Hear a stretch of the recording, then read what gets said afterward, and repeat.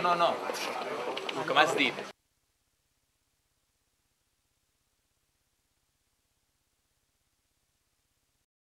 And as far as me signing with Real Madrid, I don't even have a Twitter page. I don't have Twitter. I don't have Facebook. So I don't have MySpace. I don't have none of that. But there's somebody that's actually acting like me. It's not me. So whoever's writing it is not me. So you don't have to worry about that. I don't have none of that. And So I haven't even spoken to Real. So uh, that guy did, whoever that was acting like me.